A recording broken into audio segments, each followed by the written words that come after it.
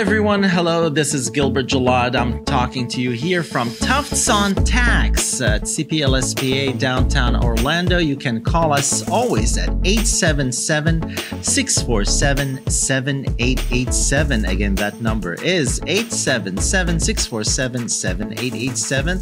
And again, this is Tufts on Tax, where all your tax questions are answered right here. This is the new year 2023, and we're starting a whole new thing new episodes uh, with about taxes to answer all your questions and to inform you more and more. You can email Mr. T. Scott Tufts at stufts at cplspa.com. That's S T U F T S at cplspa.com.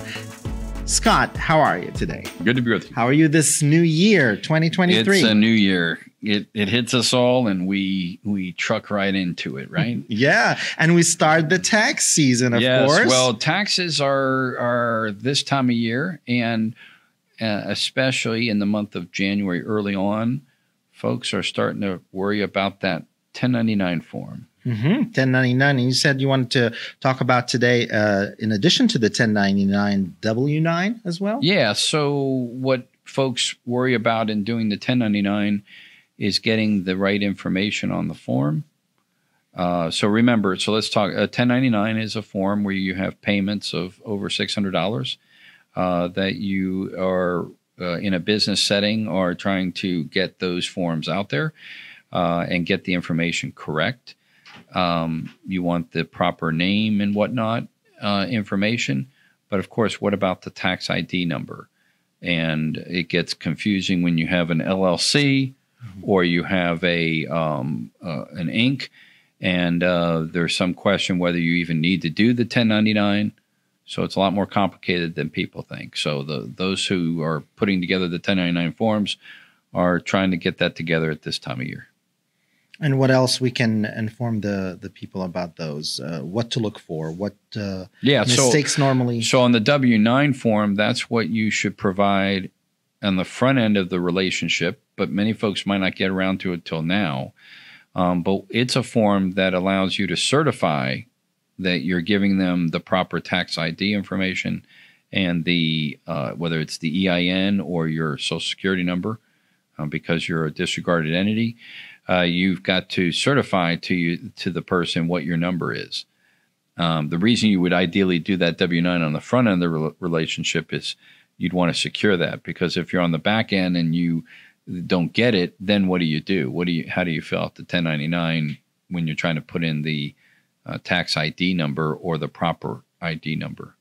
You know, because you can be a single member LLC and it be a disregarded entity. Well, who's the owner? It could be um, it could be any. It could be another entity. It could be an individual. So then that individual will they have to put their um, social security number or can you use a um, EIN if it's a sole proprietorship? That kind of question. So, what are uh, the situations in regards to W 9 and 1099 where individuals or businesses would need your expertise to intervene? Well, so the 1099 issue and the W 9 issue can reveal a confusion, if you will, over the classification of the entity. For example, how many owners do you have? How many members? Um, are you a partnership or um, a a individual proprietorship? Are you an S corp? Are you a C corp? Um, how to fill out the form? Uh, the complications that can arise from it. Now, a lot of these questions can be handled with the um, CPA, uh, the professional preparer. Uh, where I come in, though, is where there's uh, an incongruity, maybe, or an inconsistency, or even worse, there's a disagreement over whether the 1099 should be issued at all. Uh, we have protections under the federal law. If you um, are issuing a 1099, the recipient, whoever gets a 1099, mm-hmm. uh, may say, I shouldn't have gotten this 1099, right? Mm-hmm. So that's where I can step in. I can look at it and see if the 1099 uh, being issued should not have been issued. Okay. So uh, someone like myself comes in for the legal part of that, the mm-hmm. dispute mm-hmm. that arises um, over that 1099. I see. And remember, we've talked about last last uh, year. The 1099 has two forms. There's many forms actually, but One of them is a 1099 miscellaneous, and the other one is a 1099 NEC. NEC standing for non employee compensation. So your independent contractors, your lessees, your um, those type of folks get the 1099 NEC, and then others will get the 1099 miscellaneous form, uh, which is for other types of income coming in. And you you present that in your seminars with uh, uh, Lorman, of course, Yep. and you'll be presenting it with the PCC Private Corporate Council uh, CPLSPA program. Yeah, so we'll have uh, w- you know, um, and have had uh, web webinars and things where we get this the word out uh, on these things, and of course, on um, my site we have the um, the detailed information that gets into how these forms trigger these tax controversies. So we try and stay on top of it that way. Um, so um, you know, getting the word out to our audience is important to know how these Mhm. controversies arise, how these tax forms can get get folks into trouble. So we're starting the the season um, with the tax uh, tax season. I uh, I would say. Yeah, and we we're going to focus on taxes, uh, obviously acutely for the year that we're unfolding. You know, the time of year, um, but we also look at do we interview uh, some folks with uh, different um, parts of that tax world. Uh, that's something that um, I'll be looking at, and um, you know, we we might bring in and some uh, for interviews and whatnot. So that could get interesting. Any examples in the past that you faced uh, with clients or businesses uh, that involved issues with W nine or ten ninety nine? Yeah, so we, as a as a part of practice and whatnot, uh, folks will come in with the W nine problems or the ten ninety nine issues, uh, and uh, what you'll find though is in the in the cases that develop, um, generically speaking, the 1099 is a root of a lot of problems because someone will get a 1099, they'll say I shouldn't have, um, and then how you know why did why do you say I shouldn't have gotten this? Is the number wrong? Is the amount wrong, or is the form wrong? Um, you can also get into um, employee independent contractor disputes. You can get labor law disputes. You can get into uh, the timing, meaning let's say you get a 1099 for last year, but it should have been this year. Uh, you can get into all kinds of things. And uh, if it gets serious enough, there's federal law protections against those who issue a 1099 to uh, harass or uh, who are trying to retaliate. To harass? Yeah. So let's say there are there are examples where um, folks will will get a 1099 and they shouldn't have. For example, in the context of maybe they were um, employees um, and rank and file employees who uh, should have gotten a W two, um, and uh, maybe they had overtime um, issues, and uh, they were then sent to 1099 to try and avoid that dispute. Uh, you have uh, cases where um, someone will actually get a 1099 for um, that will not pertain to actual money being uh, exchanged. Uh, and then you'll just have somebody do something silly and and maybe issue a 1099 for something that didn't even exist.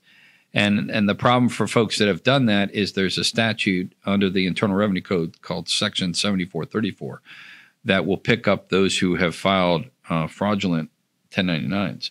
And the reason why is that, uh, and it's a minimum five thousand dollar damages. Uh, it's a it gets the IRS involved, um, and and what arises there is if the 1099 has been issued, and it it in, and it's deemed to be fraudulent, um, and and what can happen is um, that can create, and you can recover your uh, reasonable attorney's fees that you've incurred because of that 1099 being issued.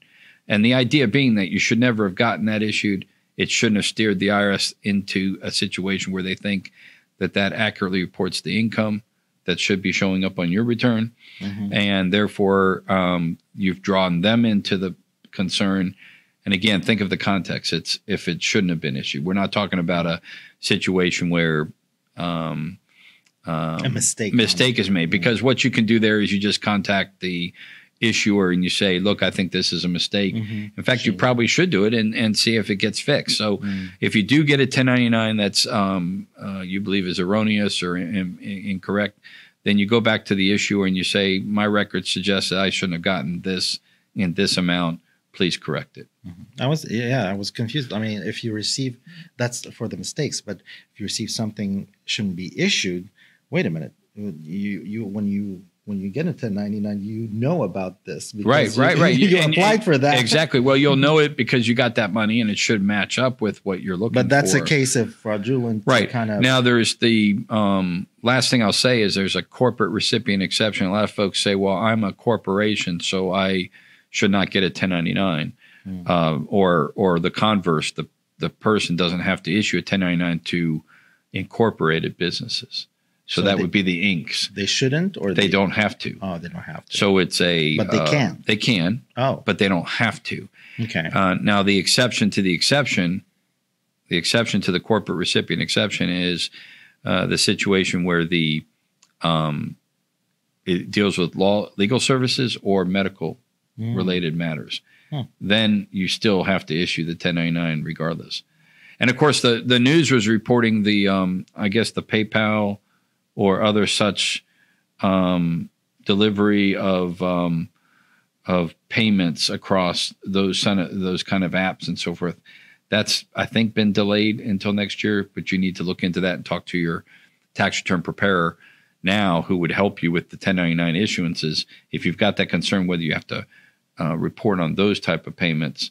so if they um, pay you on your website for example using paypal yeah, or Pay- those those various or these apps, plugins um, right. Do you have a do you have a reporting requirement on those? mm, okay And a lot of folks are concerned about that because so you know that's kind of uh, it's not perceived to be the same thing, but the the um, IRS is indicating, and I think the the trend will be that they'll they'll want to get that reported, Mhm. um, and then crypto uh, currency exchanging. We talked last season about the forks in the road. There's there's a desire to get those um, into some kind of reporting process. So the bottom line is um, they're looking to have the intermediaries or the folks that handle the transmittal of monies or currencies um, get involved in the reporting of that. Because if you think about this, this is just simply trying to help the folks who receive tho- those funds know how much they got from a particular source. Oh, wow. And I'm sure we can dive into this more Yeah, in Yeah, details you know, in the future You know, it, it really episodes. I think at the end of the day, um, now's the time to get your guard up, get uh, your records together, and put together um, the different information. I think the next, uh, you know, certainly want to um, be proactive at this time of year with your taxes. yes, absolutely. And we're going to keep, con- we're, we're going to continue talking about the tax season and what we need to do and how people want to prepare.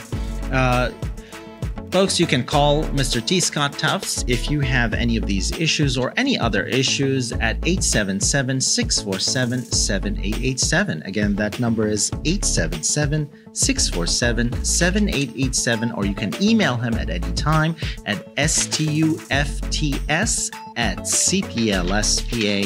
That's S Tufts at cplspa.com, and we'll see you next time.